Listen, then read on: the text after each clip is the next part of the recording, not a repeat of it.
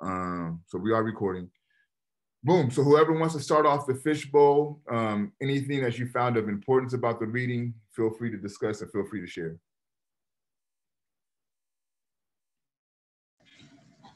Uh, so I mean, one of the things I liked was like from the big, I guess from beginning to end was like even even though how old this book is, it still has some of the same principles, some some of the same standards as we live today. Like be humble, be be respectful, like to your elders. Um, to like if you if you know someone of a higher of a higher position than you, then respect them, and and at their table as well.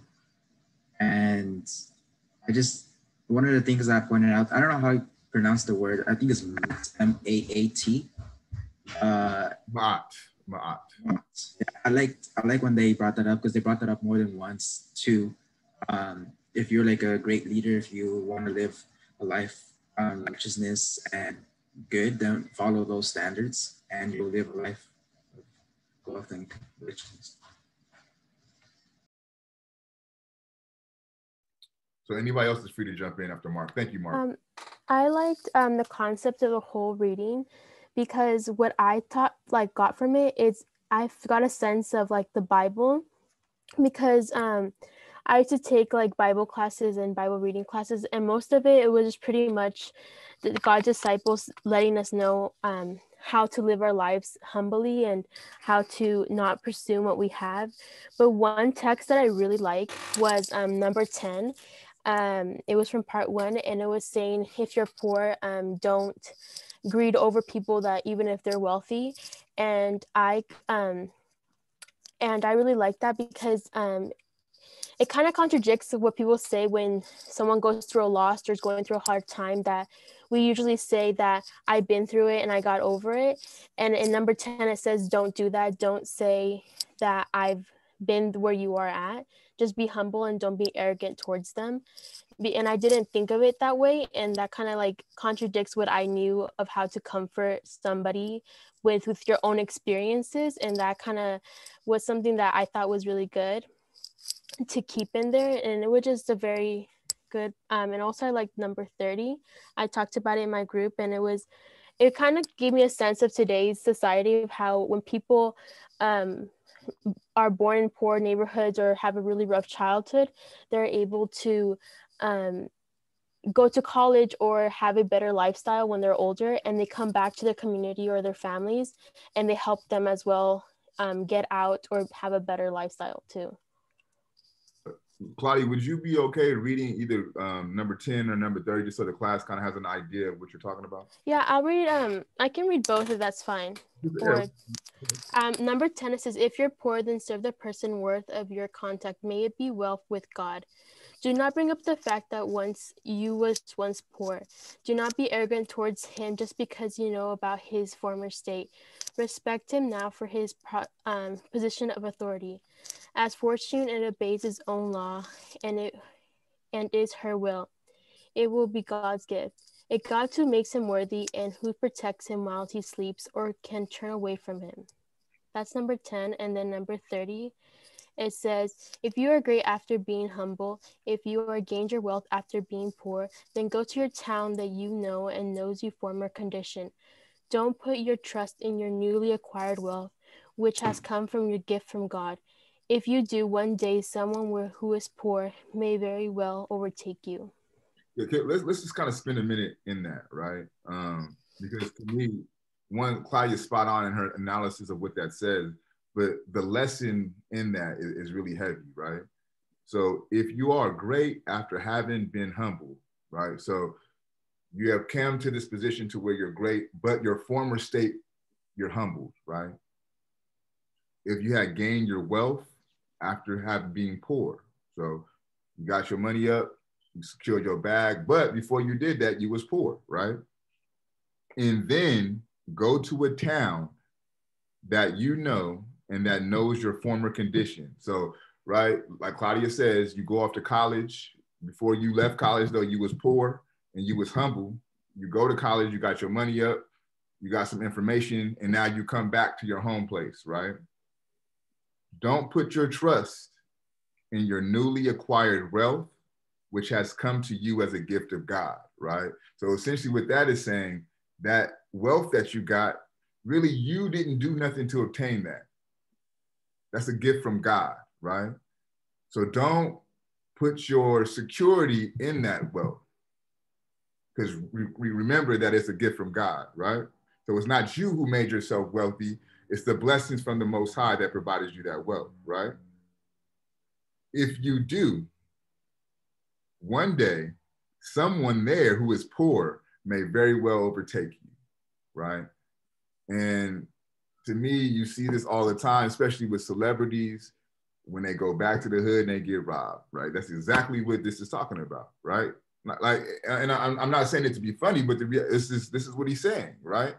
If you come from a place that is impoverished and you were impoverished when you were in that place, and you come back to that place flaunting your wealth, flaunting your knowledge, and you thinking that you're better than those who exist within that place, they will come for you and they will overtake you, is what the passage says, right?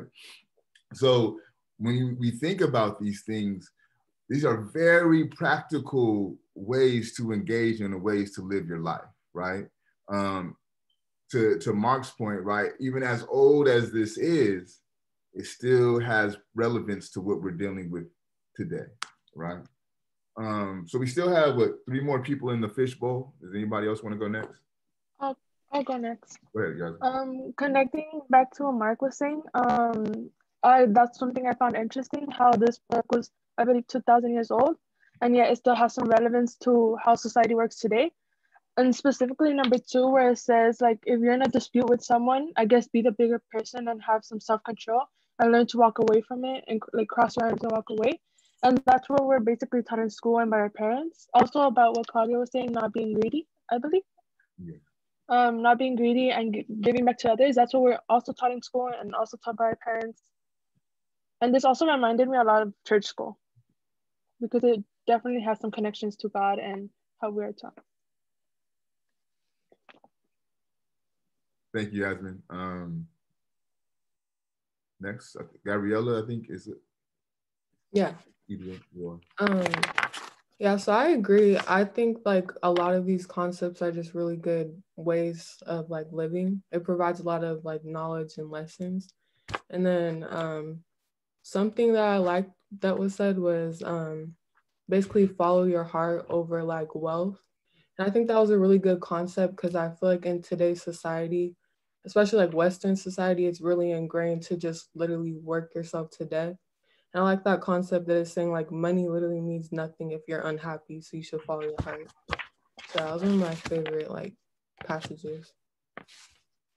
Thank you. And then we have one more. Um, after reading this, I felt like the book was like a book of like life lessons and guidance to provide, you know, people with like wisdom or advice that they may acquire like through experience. And one passage that stood out to me was passage seven, and I'll read it. It says, If you are one amongst guests at the table of a person who is more powerful than you, take what the person gives just as it is set before you. Look at what is before you. And from that passage, I felt like it's saying like rub off on someone that's, you know, may have more knowledge than you and take what they bring and try to like incorporate it in your life and go about things in life. And I don't know, it made me feel like consider the way I do things in life and maybe change my ways. So that's what I got from the book. And just if I'm gonna, uh, I'm gonna continue, Tanya, excuse me. Tanaya. Tanaya, that's why I asked. Thank you. I'm gonna get that. Tanaya, I'm gonna continue where you left off. Um, don't stare at your host. Don't speak to him until he asks. One does not know what may displease him. Speak when he has spoken to you. Then your words will please the heart. The man who has plenty of the means of existence acts as his ka commands. And when you say ka, it just means um, your spirit, right? Um, I'm just checking the chat. Uh, my fault, y'all. So, um, so this the ka is just the spirit, right? it is the Ka that makes his hand stretch out. The, the great man guides to the chosen man. Thus, eating is under the direction of God. It is a fool who complains about it, right? So, Tiana is exactly right. It's, it's about, right, how to um, place yourself around people who may be a little bit more of an elevated status than you, but then it's also telling, and that way they could rub off on you but it's also telling you how to conduct yourself when you're around those individuals, right? Don't speak until you're spoken to, right? And, and, and if you do have some, if you are speaking, make sure you have something to say, something of value, so that way he can see value in you, right? Um, so that is essentially how the fishbowl will go, right? It, it's nothing too strenuous, it's nothing too hard. It's just literally talking about what you experienced in, in the reading, which you thought was important, et cetera, et cetera, right? It's, it's nothing too egregious. So that's essentially what I'll be looking for each week. Um, having your journal with you will help. Um, we may not do the breakout rooms each week, but I wanted to do that today just to kind of get you guys in the habit of talking about your ideas. So that way, when you come to the fishbowl, um, nobody does not have anything to say. But what I'm interested now, because um, we did talk about the material of the book, I'm, I'm curious to hear what you guys discussed in your breakout groups as it pertains to how the reading made you feel. Like, what was the process? What was your affect while you were going through the readings? And, and we'll open it up to whoever wants to share, preferably somebody who has not spoken yet.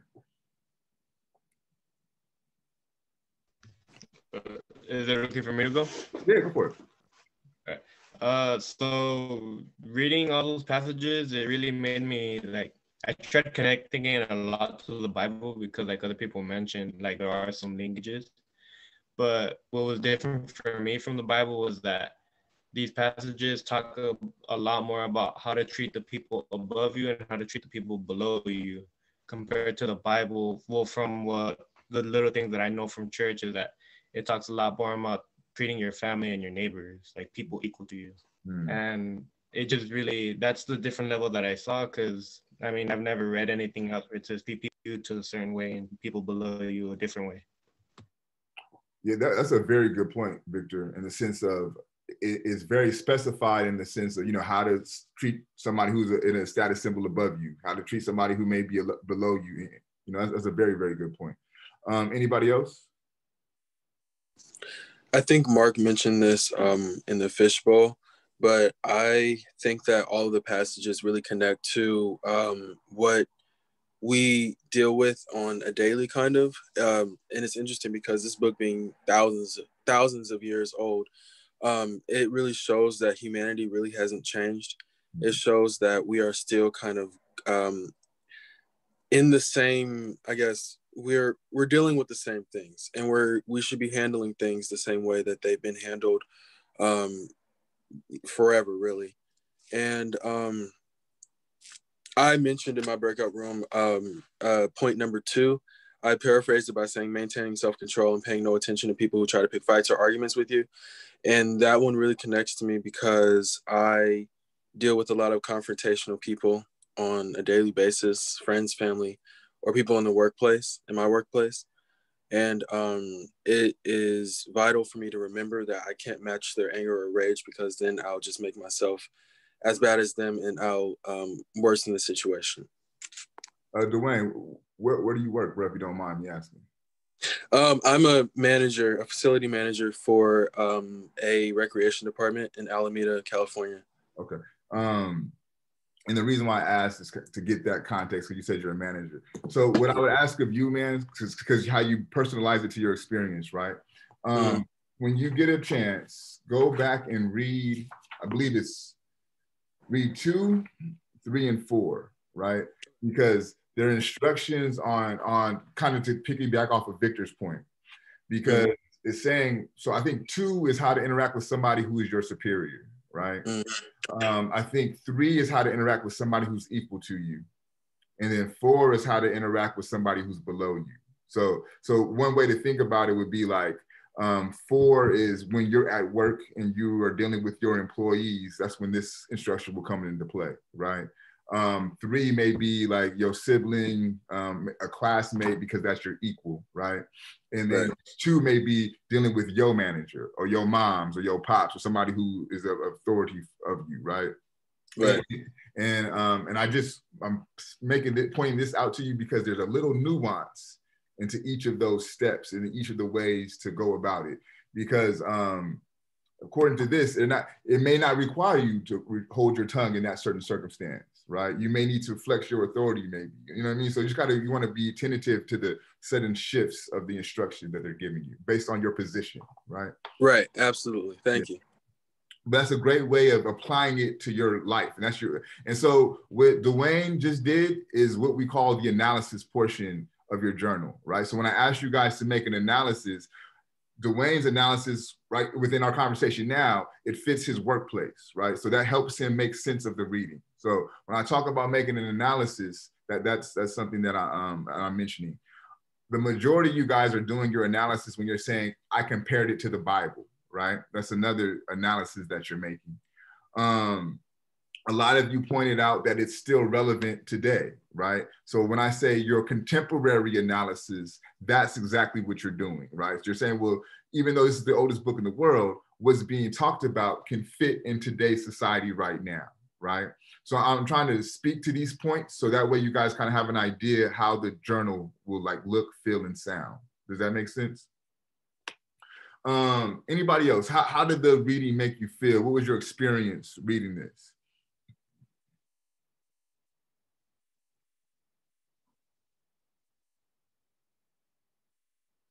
So we can speak on it, or I can just start calling people randomly. Um, it's up to y'all. I mean, it's cool that I go. Yeah, go for it, Mark. Uh, well, I, I kind of said it a little bit, but I mean, like just reading through it, um, I just felt like because since I'm Catholic, I went through like church school and it's just like for like two years, and I feel like it was kind of like the, a little bit of like the Ten Commandments, but like a longer version of the Ten Commandments. and um, I just like like I don't know who exactly said it first, but I was like more like uh like through God or like through compared to the Bible. I feel like I was more more of a religious and how to handle people through that sense. Okay. You know, um, so thank you, Mark, because uh, it brings up a, a, good segue and something I kind of want you guys to think about because everybody is, is making the parallel to the Bible or to church, right? So let's kind of take a step back and let's think about the people who we're dealing with, right? And the society that we're investigating. What does it say about a society? And we'll do what's called a juxtaposition, right? Everybody knows what a juxtaposition is. We're going to compare one thing to the other. So again, juxtaposing our society to this ancient Kemetic society, right? So in our society, as you all articulated, when you talk about these things, it only happens in one arena, and that's what? The church, right? So this is the way that our society operates. Where in this society, in the Kemetic society, this is not a, really a church text. Um, this is something that will be discussed in their university systems, in their school systems. And this is just a text that was meant for everybody to read, right? So you didn't necessarily have to be inside of a church, inside of a temple, um, to come across this information, right? And again, to think, um, to think about one of the desires and designs of the book is to ensure that the members of the society engage in neter nefer, good speech, so they can communicate with one another at a way that was righteous, right? So what does it say about a society to where things of this nature are not specified to a, a religious institution, but it's a part of the overall society, right? This is pop culture for the ancient Kemetics, right? So how um, I don't know, I don't know if y'all read magazines, but um, in my day we had like the Source, we had like um, Double XL, these were like pop culture magazines, right? So this would be the pop culture magazines of the ancient Kemetic times. So what does it say about that ancient Kemetic culture and the type of people who are existing within this culture?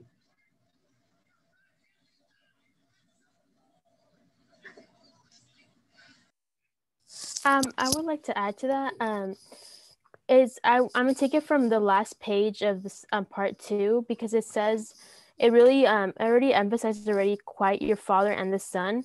Like I think it would be um more family oriented that your the father takes his wisdom and experience and then tries to teach it to their son and then it's either to the son to take it and hear it or take his own route and that's where um the last page says from yeah. part two yeah, that's actually one of my favorite passages when I was reading it this morning. Um, so, so, so what, what Claudia is talking about is how this is imbued into the family institution, right? So these how these teachings are instructing instructing how the family should operate, right? But let's think about it at a little larger scale on a societal basis. So for though anybody took a sociology class, so Mark's shaking his head. So when you talk about sociology, we're dealing about the way that society functions, right? So we're looking at a society, not the individual, but the society. So we're going to put our sociology hat on right now. What does this text say about the Kemetic society and about the way that it designed itself and the way that it operates? What does it say about the values of the Kemetic society? Put it to you this way what are what are American values? What are the values? Wealth. Wealth. Wealth. What else? Um, person's character. Say it again, Victor. A person's character. So like if they're charismatic, like okay. attention to them. popularity then in that, in more of a sense. Okay. What else? Patriotism. Patriotism. Jenny, what's an American um, value? Um, success. Success. So that could be tied back to wealth. Um, Equality. Jack, I'm sorry, again, Carla? Equality. Equality, okay. We could we could problematize that a little bit. They say talk about equality, but do they actually offer equality, right? So um Jasper, what's a what's it a what's an American value? Um freedom. Freedom. Okay. Again, another thing that we can problematize. They talk about it. Yeah, like kind of. Yeah. Um, Isaac, what's an American value? Uh, respect others is the way you want to be treated. So the golden rule: treat one how you wants to be treated. Okay. So I think the last three um, is what is being claimed versus what actually happens, right? But really, what, what we hit on the head, Victor hit it um, Jenny hit it, wealth, right? Success. We call materialism, how much shit you could accumulate, right? Who got the best shoes? Who got the nicest car, right? That's value, right? Um, what we deem as important is the value, right? So this is what the American values are. Capitalism is an American value, right? Who could get the most, right? Um, so, what does this say about the values of the Kemetic society? Well, it was, it's not like materialistic because I mean they were they really have like a lot of stuff, especially like back then. They didn't like compare shoes, they didn't compare anything like that. So I feel it was more like a more to a person like one on one how how you treat others how you treat others one on one and how you treat your elders or your to, to, to those who are inferior and superior to you. And like especially there was a kings and queens back in the day and like the Almighty God, how you how you treated them and how you acted towards them. But like the towards that. Right. Um, and, and, go ahead, Dwayne. Oh, sorry. Um, I was just gonna say, yeah, uh, Marcus right. They didn't have like a lot of materialistic things. Um, I thought that a lot of the passages related to um, kind of things on a hierarchy level in a society rather than like value and um, materialism. Yeah, I, I can see that. Um, it's definitely hierarchical, right? So you know how to treat those above you, right? That's definitely present there. Um, but it's also an order to the hierarchy, right? Because if you read implicitly in the text, they're saying the wealthy are wealthy because God gave them the wealth, right? The people are empowered because God put those people in power, right? So at, while um, while Mark, I'm sorry, while Dwayne is absolutely right in, in his assessment of the hierarchy, what I picked up on was they understand the hierarchy to be divine. It's God's doing, right? Um, and, and really another way to think about what Mark is talking about, one of the primary values of Kemetic society is the idea of relation, right? How we interact with one another, how we treat one another, right? How we speak to one another, right? That's the premier um, values that we could pick up from this, um, from the Kemetic society from this reading. Did anybody have a, a critique of the reading? Something that they felt um, was left on the table, could have been done better, um, want they, you know, wanted more from the reading. Is there any critiques that you guys have of the reading? I, I kind of have one, but I mean, I, I, don't know if it's towards reading, but when it says um, you have the wealth because God gave you the wealth. Mm-hmm. Um, well, it's some people are wealthy because maybe they steal from the poor and maybe they rob a bank. I mean, God didn't give you that. you yeah. did it to yourself. So, and some people try doing that and they end up in like in jails or worse. So, I mean, I don't fully agree with that statement where God gives you wealth because sometimes people are wealthy from the from bad reasons. Yeah, I, you know, um, I, I agree with that. Even it's a passage in there that says like obey the laws, right? And, and I, I, had to think like, well, shit, what if the laws are unjust? Then do you obey those laws? Um, but I think too, the temporal or time contextualization is important too, because like, um, so to me, right, we live within a corrupt government system, right? I don't know if you could say the same thing about what was going on during that time, right? I, I to me it's a lot harder to just go along with the idea of just following the rules because they say so because the system is so corrupt and the foundations of this country are so corrupt right? But i don't know if that would be the case in the time of Ptahhotep. Um, women the women in the class is there a particular critique that you guys found in the reading that you would want to share? No for me, I found the the text to be very male centered, right? The only time that women were mentioned, it would be how to treat your wife, right? Or do these things so the relationship between you and your wife are good. But women were never made the subject of conversation, right?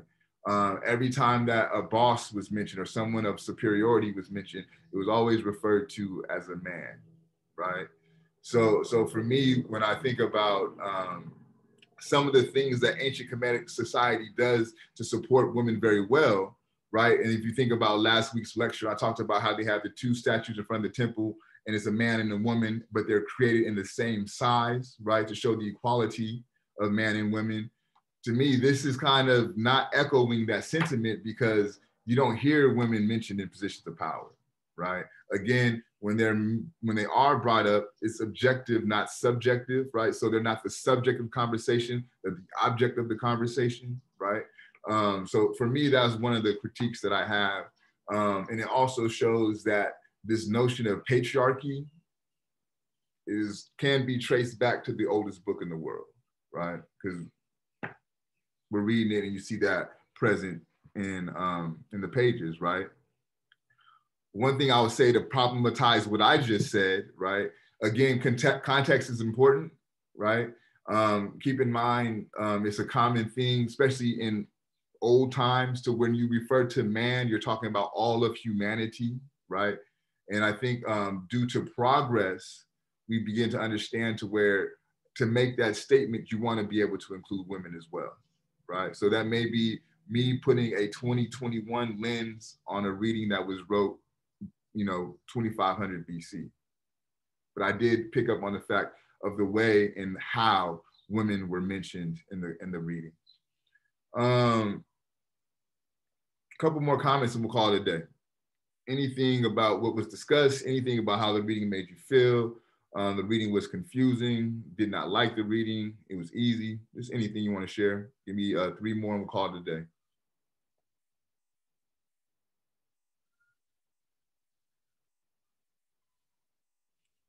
So Leslie, why don't you share with us your thoughts about the reading, what you felt, what you thought?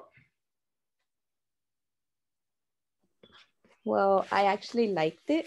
I feel like it has a lot to do with good morals that people should follow like right now in society. Thank you. Um, Isis, you want to share? Um, I don't, I don't think it was like so much as confusing, but I feel like it's kind. It's gonna contradict what I said, but it's kind of hard to read. Like you really have to reread it and like get it. You can't just skim over it to get it. Absolutely, and sometimes you have to read it a couple of times to really understand what you what you read. Yeah. Um, and, and it, I think it's written like that on purpose. It's really um, meant to contemplate and reflect on what's read, right? It's, I, don't, I don't think it's really designed for one sit down read. It's kind of really like you take one parable or one teaching, sit with that for the day, and then move on to the next one the next day, right? It's kind of more of meditations than they are just like text to be read out. Um, one last person, we'll call it a day.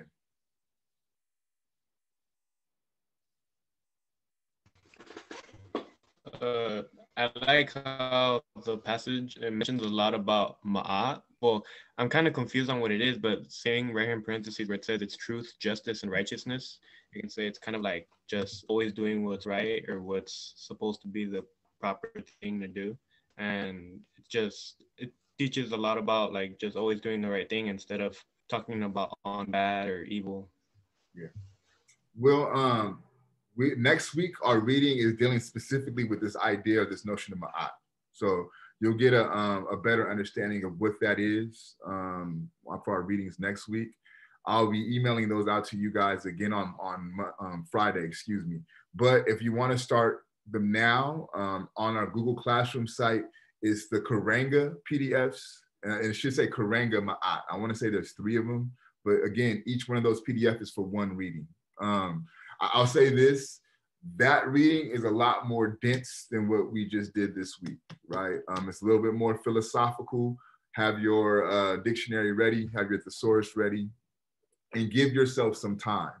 Um, just like how Isis was saying, you can't really skim through this to get an understanding. It's same with the next reading. You're gonna really have to sit down and really take these paragraphs and break them apart to get the, the best understanding that you can. Um, don't expect yourself to know everything. Um, get what you can out of the reading, um, and, and, I'm here for the for the to you know help the rest make sense, right? Is there any other questions, comments, concerns before we call it a day? All right. So, so we don't meet. On, so wait, we don't meet on Wednesday, right? No, you guys won't meet on Wednesday. We'll meet again on Monday um, either tomorrow, today, tomorrow, or Wednesday, um, early in the day. As soon as I get the login for the extra credit assignment, I'll send that out to you guys. Um, again, it'll be like Wednesday, 2:45-ish. Um, I'll be guest lecturing at Antioch University. Again, that'll be an extra credit opportunity for you guys. As soon as I get the login information, I'll make it available. Um, this will pretty much be the flow of our class. Um, the only thing that may stay or may be taken away is the breakout groups, but this is what the, the course will feel like. We'll have a reading. I'll give my notes on the reading. Um, we'll jump into our fishbowl. And then from our fishbowl, we'll just kind of converse as to what your guys' thoughts are on the reading. So, you know, just kind of give you an idea of how it, how it will be moving forward. Um, other than that, you guys be well, be healthy, um, drink your water, and I, I have a question. For the extra credit, do we just need to show up, or what do you what show do you up, and then you'll write a journal, right? So saying three points. Um, what was the main topic of conversation? How was it a conversation? Um, how you made your analysis of the conversation, and how does it fit to contemporary time? So it'll be the same thing that I'll be looking for in the journal. You'll just be discussing for the extra credit assignment. Cool. Any other questions, you guys? Yeah. Um, is there a certain length that our journals need to be? Now it's totally up to you. Um, it could be a bullet point sentence. It could be a paragraph. You could do a page per. You know, it's totally up to you. But you want to make it so where if you need to go back, right, you could get some information that will be beneficial for you. Um, when it comes to the midterms, you could use these journals as study guides for your midterm, right? So um, do what is best for you to get the information, but I don't care how you guys do that. Any other questions? What's the reading we have to do for next week again? Next week is Karenga, um, the Ma'at reading. Let me, I'm, I'm, gonna show you guys where it is on the Google Classroom site. Give me one second, okay? And then I'll, I'll also send this out on Friday, but if you want to start now, I'll show you where it's at.